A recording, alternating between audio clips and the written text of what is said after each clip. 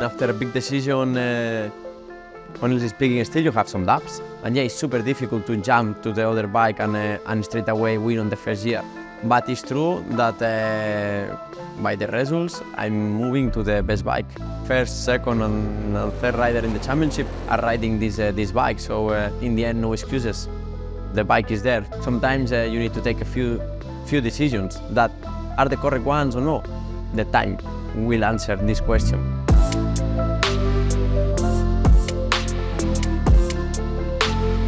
But mental side was uh, was super difficult, uh, especially because I was nervous, uh, many doubts, every day, every week, change mentality every day, every week. I mean, uh, a lot of question marks, and uh, and yeah, I was losing weight, uh, but at the same time, performing a good way in the racetrack was uh, was difficult. But but we tried to to manage in a in a best way.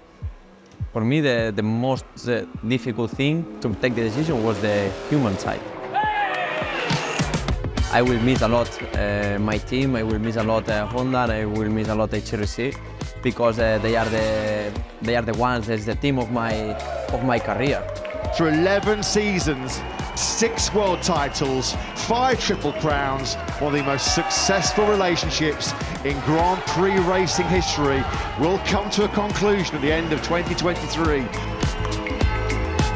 Super exciting times ahead. The eight tons world champion will be on a Ducati in 2024. I think is that the first approach will be in Valencia and he will uh, lead uh, this, the test. We have to wait to Valencia and then to, to the first race in Qatar, but I feel like he will be battling, battling for, for a championship for sure. Is what what I will say if uh, somebody moves to to a good bike. Uh, I will put pressure to himself, and I will say, yeah, he will be super fast. He will be because like this, I take pressure from me and I put pressure to him.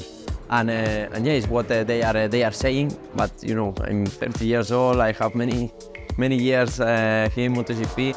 When you have uh, some difficult moments on the racetrack and you think that you perform in a good way, but the results are not coming and never arrive, uh, then you start to have some doubts, especially because uh, since uh, 2020, uh, my years were like a nightmare.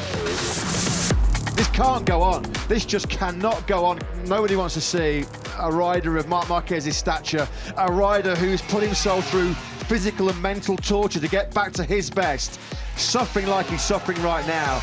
In an athlete, you, you must to survive when you have a difficult moment. You have some doubts, of course, that you have some doubts in yourself, but uh, these doubts next year uh, I will answer if, if, if it's are a really doubt or it's okay. To think that I will go out with the bike and uh, win uh, all the races, impossible. Then of course uh, I will lie if I if I say to you that no, it's okay. I mean, it's it's new motivation. New motivation means like uh, you wanna you wanna understand many things. Basically, just try to, to feel again that uh, that butterflies in the stomach uh, to come the circuit, uh, that extra pressure, and uh, and at least maybe not every race, but at least uh, be competitive on, on that top positions uh, in some racetrack.